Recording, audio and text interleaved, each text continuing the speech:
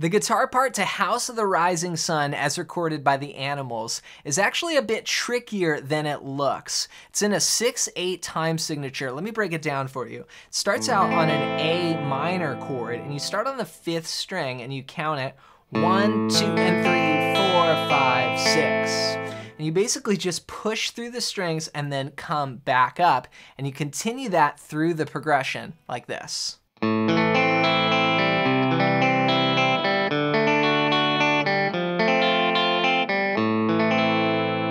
Give it a try and to learn how to play techniques and chord progressions like this anywhere on the neck, grab my free fretboard guide PDF. There's a link below this video.